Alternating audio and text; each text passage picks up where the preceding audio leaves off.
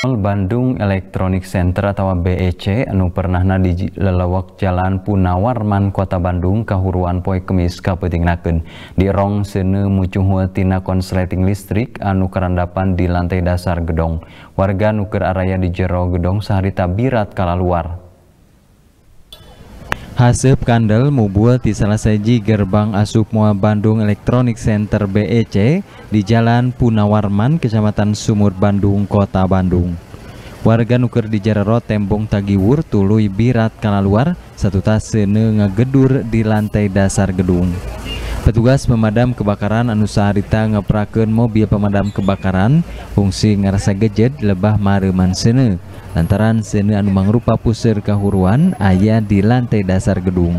Sene dierong asalna tina salah seji kontainer anu ngarandapan konsleting listrik salah seorang warga nuker ayah di Mall BEC Yusuf nembraken nalika ayah hasep di lantai dasar teh dirina jeng pengunjung sejenak saharita dievakuasi kendaraan nama masih rea anu kapahung di Jeromoa.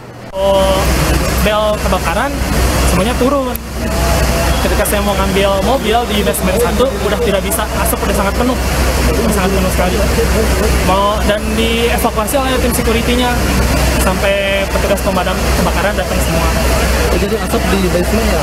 asapnya titiknya di basement lantai 2 basement 2 jam berapa itu tuh? kejadiannya itu udah asap ngumpul itu jam 6 lebih 20 tapi lantaran kayanana bangga disorang ngabalukarkan para petugas kudu make tabung oksigen pikeun norobos hasep anu kandal Yuana Kurniawan Bandung TV